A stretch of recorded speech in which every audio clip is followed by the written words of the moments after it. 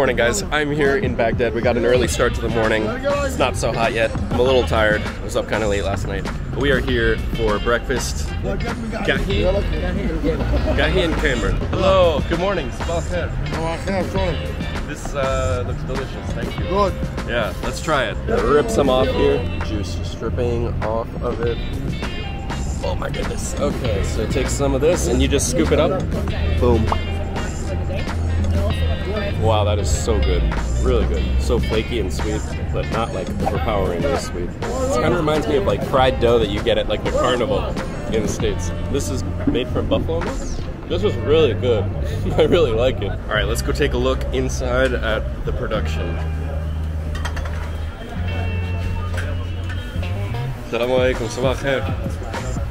Wow. That's big. Big oven. Oh my goodness. And this is the sweet? Ah, okay. Got the whole production from start to finish in the big oven. Thank you so much. Shukran. Guys, I just found out this place was opened in 1957. Unbelievable. You? Wow.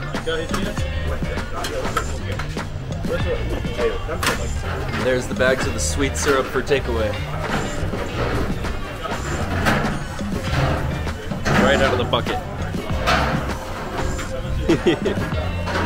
Guys, tea in Iraq, I can already tell, is going to be very sweet. Look at all that sugar at the bottom. Mm, very sweet.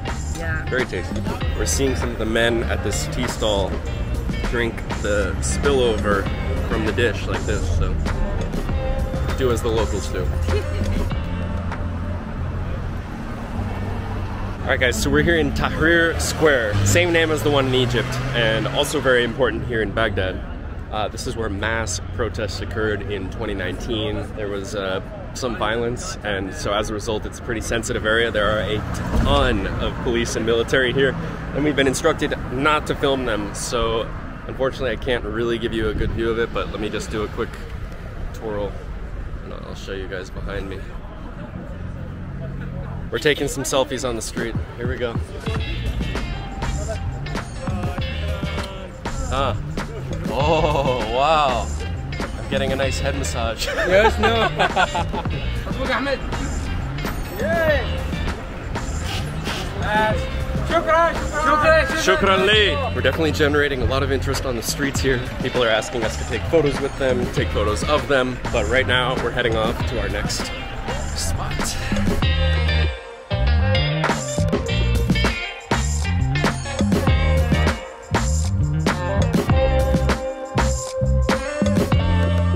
Alrighty guys, we're just walking along now.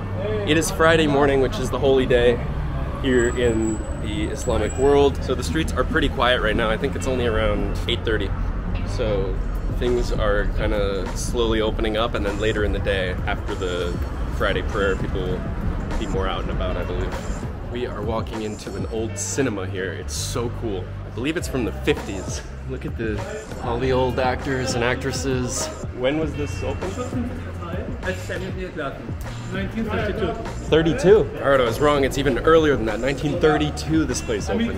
Come in, come in. Come in. Whoa. Wow. That's a cool picture. These poses are out of control. I love it. So good, so good. so I think this man is a Bollywood aficionado. It's a good chair. Uh-huh. All Bollywood movies. Thank you, shukran. Oh, welcome, welcome. Thank you so much. My friend.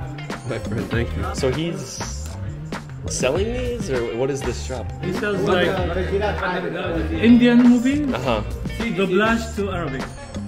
Ah, okay, It's like okay. on DVD. Guys, we're here in the theater. The power just dropped, which apparently happens every so often here in Baghdad, on and off. But it should be back soon, or a generator. You kind of forget with everything you see on the news about Baghdad, like how historical and how incredible and culture this city is and has been for hundreds and hundreds of years.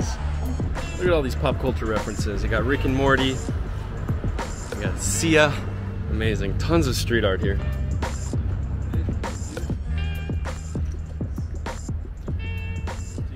Hey guys, right here is the Tigris River, the historic legendary river that runs right through the center of Baghdad.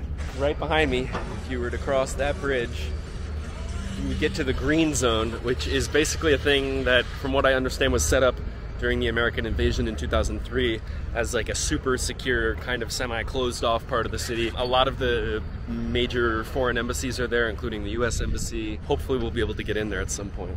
So guys, as I said in my previous video, you'll see a ton of these basically heavily fortified concrete barriers around the city. And I was asking what's behind here, and uh, they're saying, not really sure, it's either some kind of a government building or a bank. Uh, but you'll see them all over the place. The nice thing is, a lot of them have been painted with all sorts of street art, and uh, it's really cool. Really gives some personality to these, you know, otherwise imposing concrete walls. All right, guys, it's only 9 a.m., but it's already getting, starting to get pretty hot. it's about 103 degrees Fahrenheit or like 39 degrees Celsius already. The really cool thing is, though, everywhere we walked, we've been outside for about an hour and a half, and we've already had people give us free water bottles. We were just walking by the banks of the river and some guy was on the balcony of his house and just threw down like a bunch of water bottles to us and and we had a shopkeeper giving it to us. pretty okay, yeah. So this is Amazing. All right guys, we're on the road to the market. Another beautiful old cinema here. And people out and about enjoying this Friday morning. The architecture here is amazing. A lot of it is pretty weathered, but it's so rustic and beautiful.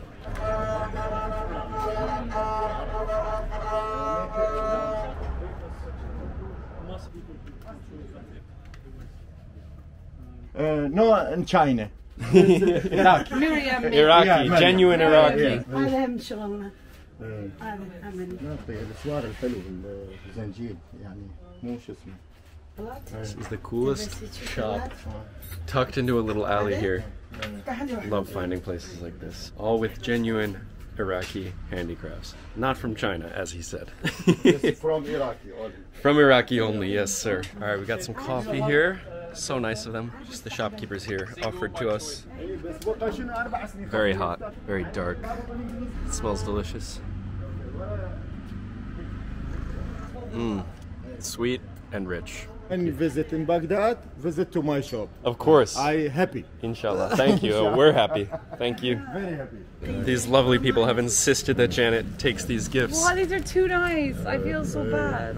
She said uh, we are the first foreigners to come to this shop since 2003. Shukran. Shukran. Welcome, welcome. Thank you so much. Thank you. All right, guys, we're at Souk Al Arabi. First time in an Iraqi market here in Baghdad. These are copies, right? How much do you think they sell a pair of sneakers for? Twelve dollars. $12, Wow. Thank you. Twelve dollars for a pair of fake Yeezys. Pretty good. Hello. How are you? Good morning. Sabah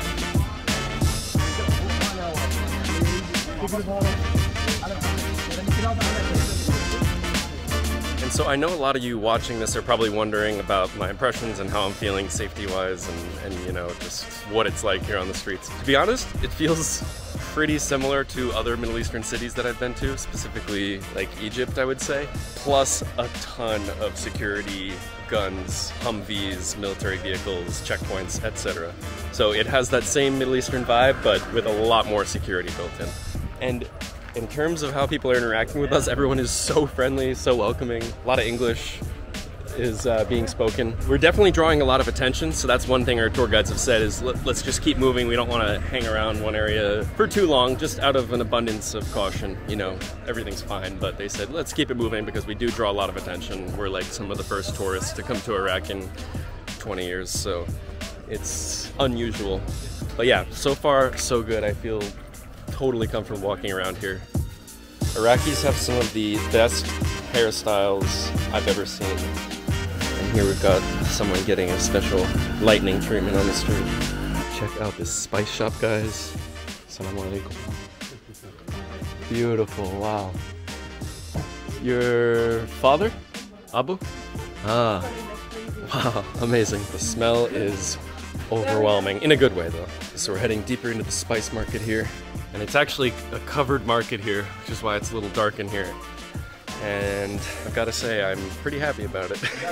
nice place to come to cool off. Hello, how are you? Assalamu alaikum. huh? Me?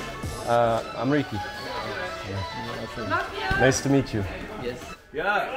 How are you? Good, how are you? A lot of people asking where we're from, and uh, I don't know. I've had nothing but positive reactions to telling people I'm American. You were saying, as far as that goes, Most people, when you come in as a tourist, just just totally fine. Uh, Yeah. You're a person. They treat you as a person. They be as hospitable uh, for you as any other uh, other other nationality, and Uh-huh. uh, it's just normal. Right. Yeah. Yeah. Most people everywhere understand that you know, individuals are individuals, even if they have you know opinions that are negative about whatever government or military, etc. People treat individuals with kindness pretty much everywhere I've ever been in the world, and here is no exception.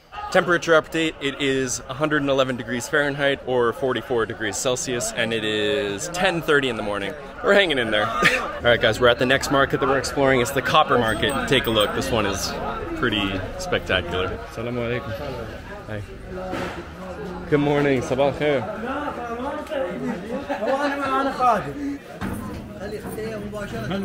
What do you got there? Show me.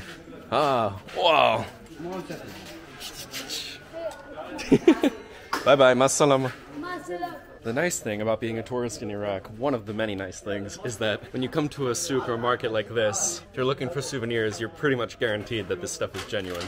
Because there's no tourist tchotchke made in China stuff to be seen here. Can't wait too long to drink your water here in Iraq, walking around on the streets. I've been carrying this one for about 20 minutes. I just took a sip, but it's like, tastes like it's just been boiled.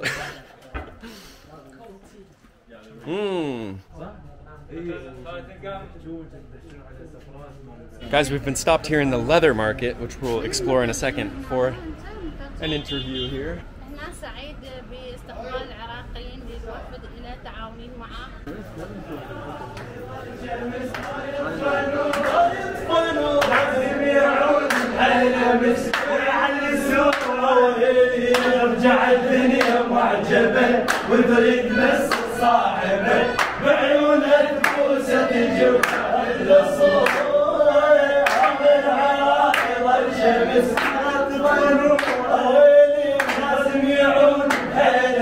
Guys, look at this gorgeous specimen of Iraqi hairstyles. Incredible, bro.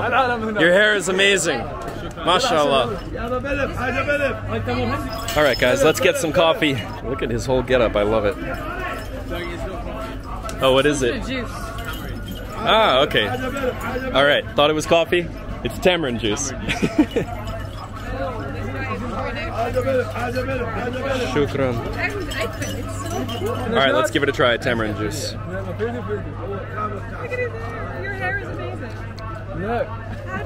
Interesting. Not my favorite. Has kind of a chalky texture, actually. But hey, good to try. All right, guys, we're heading into a cafe called Shah Bandar. Right behind me to get out of the sun for a second, maybe get some coffee, wake up a little bit. In 2007, it was a big bomb in uh, Mutanabbi Street here. So the owner of this cafe, he lost three or five of his sons. Oh my gosh. Yeah, five of his sons in one bomb. So sad.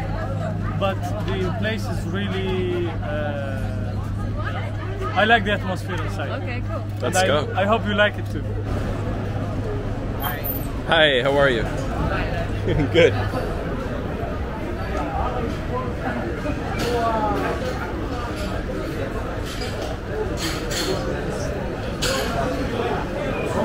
Guys, this is crazy. I love places like this. Tons of pictures on the walls. Hazy air filled with shisha, hookah, smoke. Wow. What's up, guys? What's up? Yes. Yeah. Yes. I like your shirt, New York. Yes. That's where I'm from. Like that. Yes. Look at all that sugar. Let's give it a try.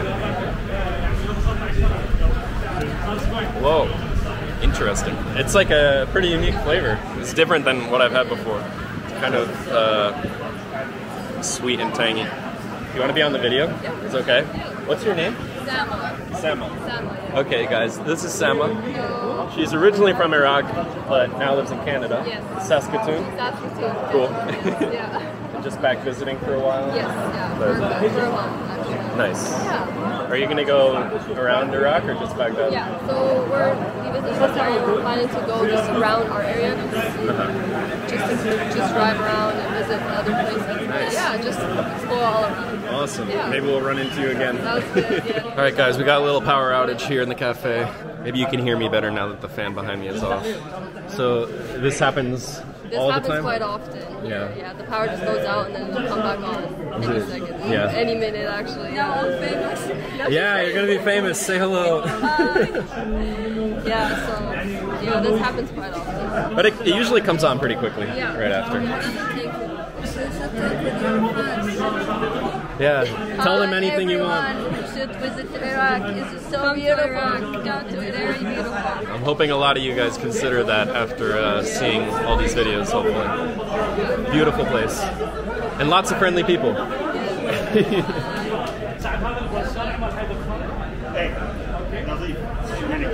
Guys, these guys are getting a real kick out of uh, our pronunciation of shakumaku, which means what's up in Iraqi Arabic.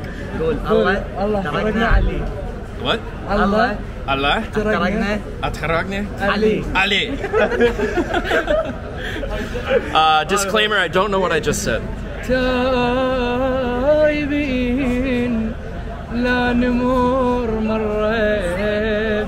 I'm being serenaded.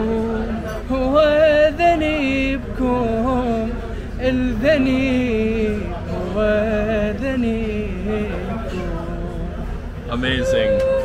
Well done. Thank you. you have a great voice. Really. So many friendly people. It's my favorite part of any of this. Any traveling, visiting new places. Just moments like that in the cafe, meeting all those hilarious, friendly, awesome people. It's priceless. All right, guys, it's 12:45. Heat update. Uh, it's hot. it's very hot. It's kind of crazy because it's like this dry heat but when the wind blows, it feels like you're taking a hair dryer to your face. Like it just burns your face. Guys, we're stopping real quick at Haj Zabala Juice. It was founded in 1900. It's apparently a pretty famous spot for juice. Let's go check it out. Oh, What's your shop?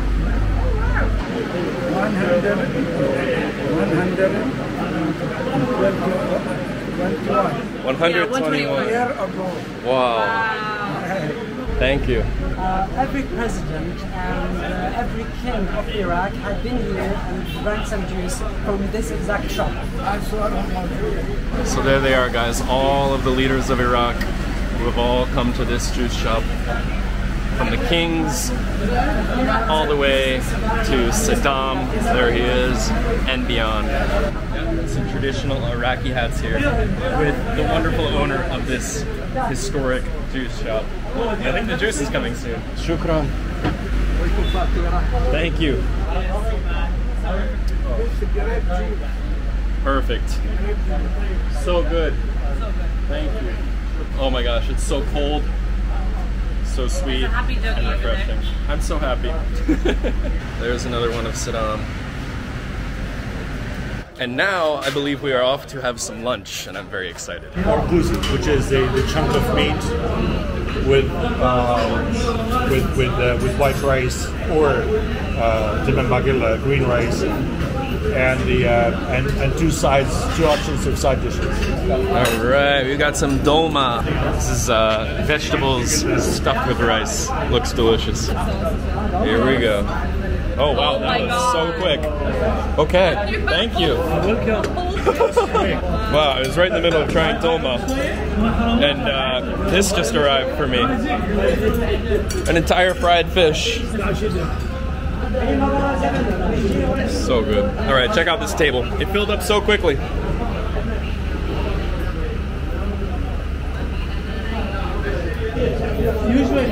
Amazing. Here's the green rice with fava beans and dill.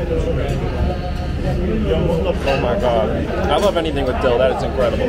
We're kind of sharing everything. We don't each have plates, so you kind of just go in with your spoon, take your bite, continue.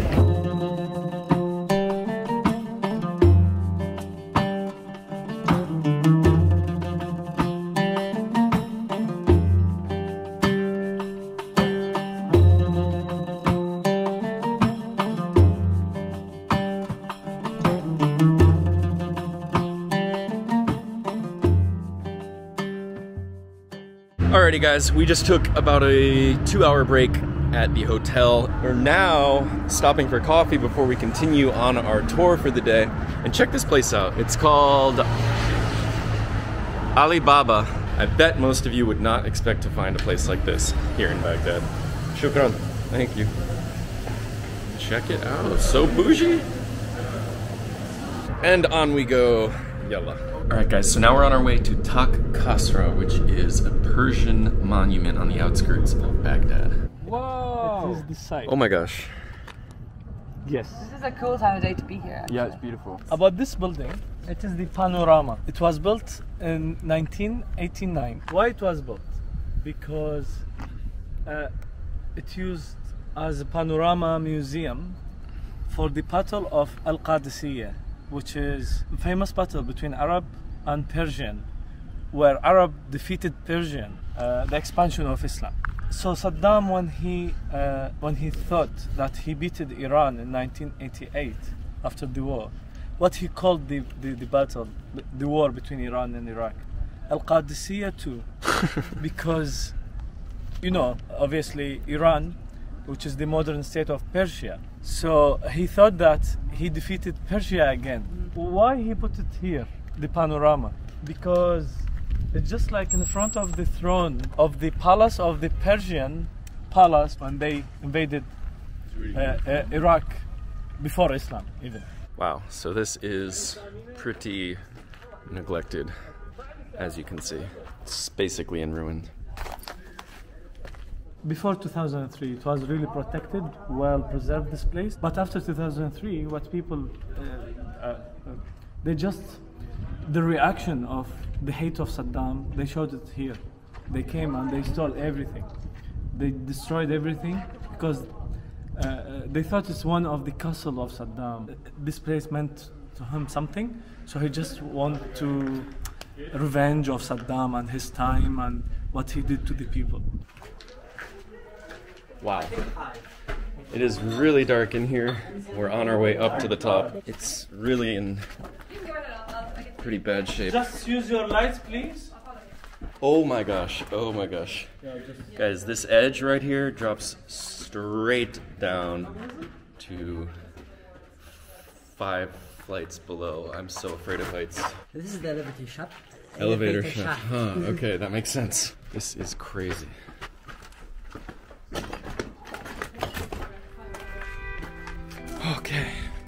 At this view. Oh my goodness.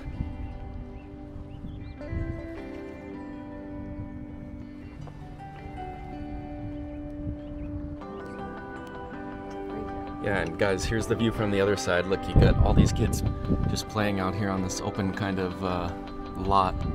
And this thing is just open. I mean, there's no security or checkpoint or anything to get here.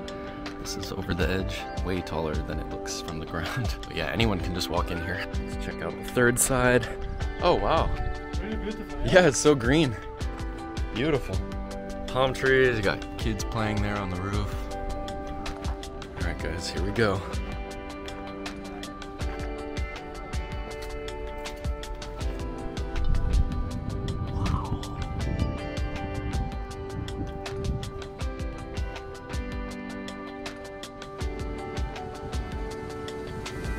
Alright guys, here it is. This is the Arch of Ctesiphon at Taq Kasra. It's the largest unreinforced brick vault ever constructed in the history of the world. It's closed off right now because it's over a thousand years old and it's at risk of collapse. So this is what it used to look like originally, way back a thousand years ago. Oh my goodness. Now all that stands is the arch and part of the left side.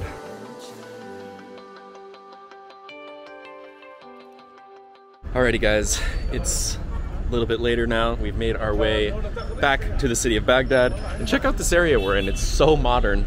And we are going into Al Reef Cafe. Let's go check it out.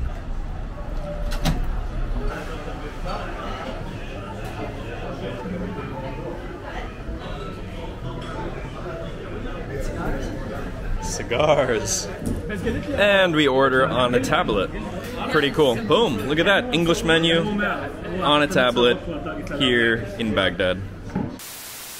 All right, I made it back to the hotel. Just had a much needed shower, so I'm feeling cooled off and really just feeling so happy to be here. That was such an incredible first day. Met so many incredible people, had so much great food, and just it was just amazing exploring this city. So much history, so much to be discovered, really. I feel like we're only scratching the surface. So excited for the next few days to come. We're going to be exploring more of Baghdad, then we're going to be going to Babylon, Karbala, Basra, and more. So stay tuned. If you guys want to stay up to date on my travels through Iraq, go ahead and check out my Instagram. And if you're enjoying these videos, please, please, please don't forget to subscribe. It really helps me out and keeps me bringing you guys more videos from amazing places like this. So thank you guys so much for watching, and I will see you tomorrow in the next one. Bye bye.